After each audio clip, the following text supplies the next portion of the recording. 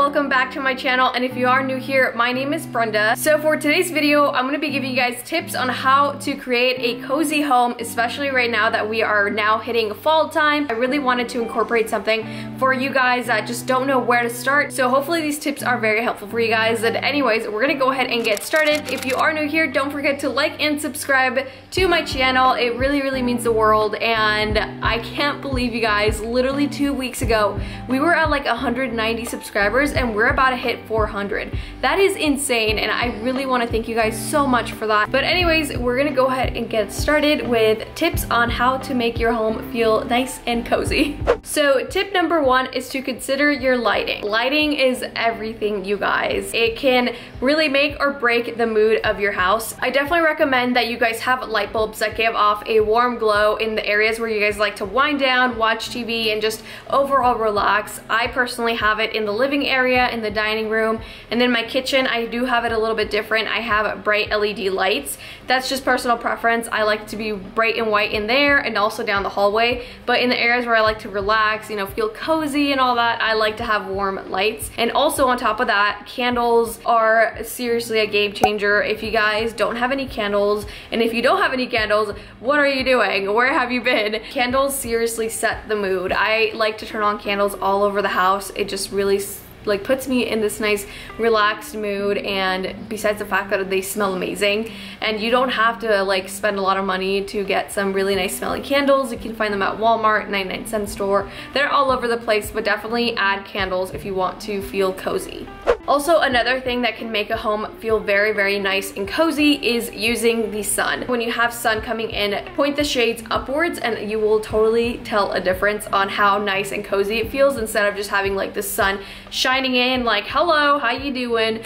Um, you just point it towards the ceiling and then the lighting just gets, you know, the light gets spread all over the room. So another big thing is also to remove clutter.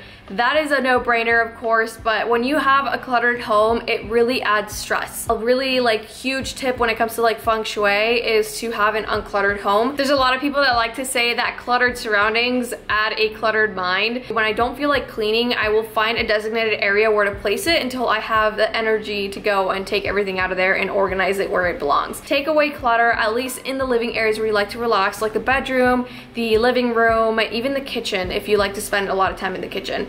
Um, that way when you're in that living area, you don't feel stressed out because there's just so much stuff in there. So this one I already mentioned, but obviously light candles.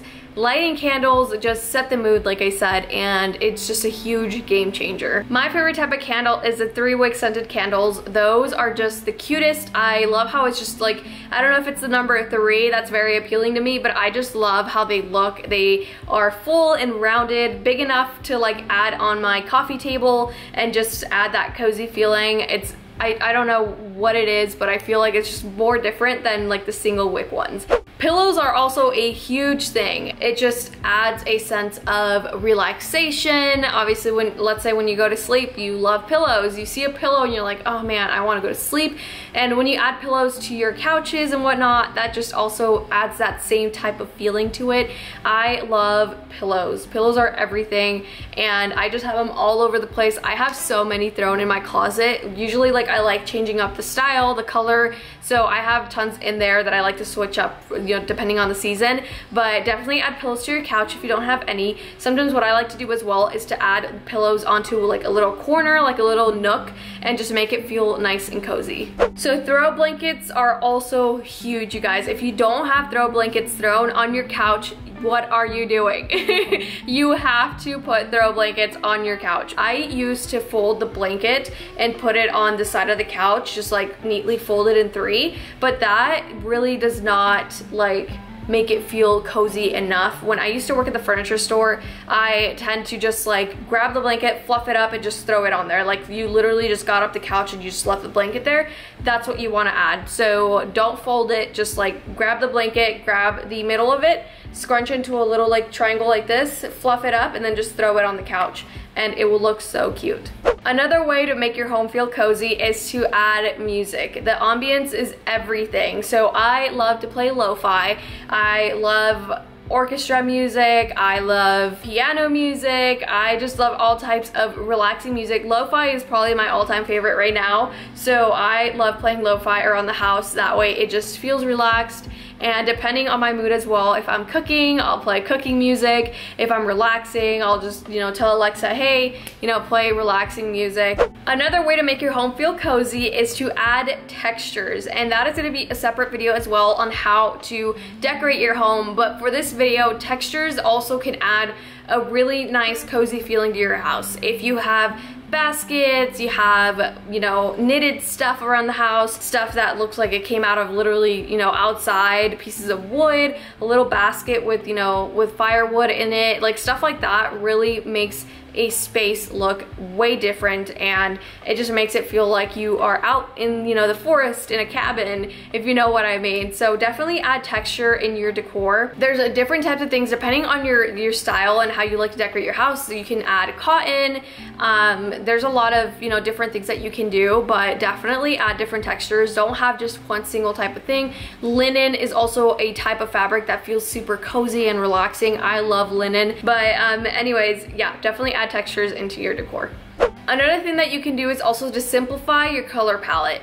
If you have one single color palette for the big pieces of furniture that you have, then you can change it up with all of the accents and you can do whatever color you want. So for me, I have white couches, white cabinets, I have nice beige color curtains, and then with that, if I would, let's say, want to do Christmas, I can add reds all over the house, I can add greens, I can add blues, I can do whatever color because it's gonna match that. Obviously, if you don't have like furniture like this, you're not just gonna get up and throw your couch outside, but um, you could get a couch cover. That's a huge alternative to just cover your couches with a nice neutral color and then that way you can completely change your living space by adding different colors.